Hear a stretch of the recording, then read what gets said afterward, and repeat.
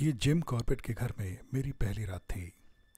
अचानक आधी रात को मुझे ऐसा लगा कि गुर्राने की आवाज़ मेरे सर के पीछे से आ रही है। थोड़ी देर बाद मुझे ये भी एहसास हुआ कि आवाज़ मेरे सर के पीछे से नहीं, बल्कि उस तकिए के नीचे से आ रही है जिस पर मैं लेटा हूँ। ऐसी आवाज़ जैसे कोई दर्द से कर रहा रहा हो और साथ में गुर्रा भी रहा हो। बेहद भयानक और डरा देने वाली आवाज़ थी वो। बड़ी ही भयानक रात थी।